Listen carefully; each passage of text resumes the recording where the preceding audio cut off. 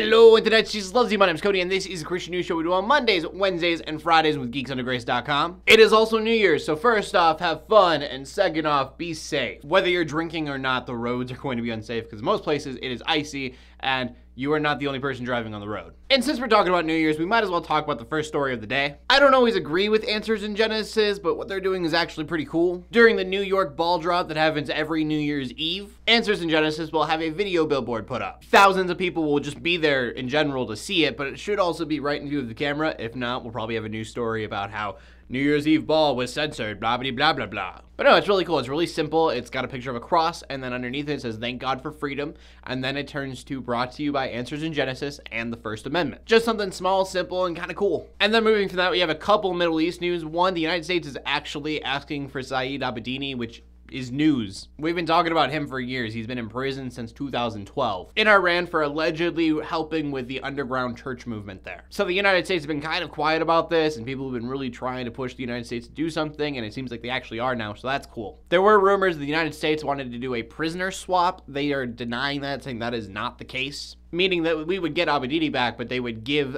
Iran somebody else. So hopefully that's not the case. They said that they're not, and I mean, the country never lies, right? I just hope that's not the case. That would be really sad. And then from that, we need to talk about ISIS briefly. It seems that they have recently killed over 116 of their own militants, this being because they were trying to get out. Now, this is obviously sad because 116 people are dead, but to know that people are on the inside looking around going, wow, this is insane, is a good thing. Though getting people to act on those thoughts is probably going to be near impossible. And from that, we go to the final story of the day, which is about Leelah Alcorn. Formerly known as Joshua, Alcorn identified as a transgender but committed suicide on Sunday, doing so by stepping in front of a tractor trailer on the highway. And on Tumblr, Alcorn had left this suicide letter, and in the suicide letter, she blamed her Christian parents and her Christian therapist for this happening. And I know there are a lot of Christians out there that read the article and that's what they want me to talk about is how the media is taking this and demonizing Christianity. And I know on the other side of things, people want me to probably talk about the transgender discussion. And so that being said, there are so many different things to be said here. And so I know whatever I say is probably not going to be correct in someone else's mind. But a couple things that I want to bring out, and maybe this is a shallow thought on my end because I can't relate, but Christian or not, you do not need to define yourself by your gender or your sexual orientation.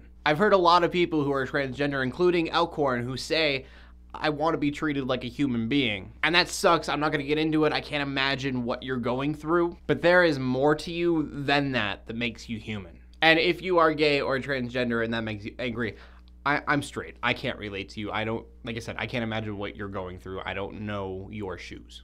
And secondly, on the whole thing of suicide, depression is a disease. That being said, it needs to be treated as one. You can't just go to a Christian therapist and be like, you just need Jesus. I, one of my friends brought this up in the Geeks Under Grace website. If you want to check out his article, link in the description below. Is you wouldn't take a cancer patient to someone and be like, you just need Jesus, buddy. You'll be fine. You cancer, Jesus got this. No, you get it treated, but for some reason, people look at depression and they go, oh, they just need to cheer up. I like what Philip DeFranco says. He says suicide is a permanent solution to a very temporary problem. You might think you're thinking with clarity, but depression clouds your mind. So if you have any suicidal thoughts or anything, I'm leaving a phone number down below. Seriously, get help. So that's what I have to say on that. I'm sure that's not what everyone wanted to hear, but you know. I can't think of a question of the day that would be appropriate, so if you want to talk about anything that I talked about today, please do that in the comment section below with whatever you want to say. Make sure you check out geeksundergrace.com. My name's Cody Armour, bringing Christian news in a not so boring kind of way every Monday, Wednesday, and Friday. In closing, let the haters hate, let the Christians pray. To everybody, like, subscribe. I will see you later, and God bless.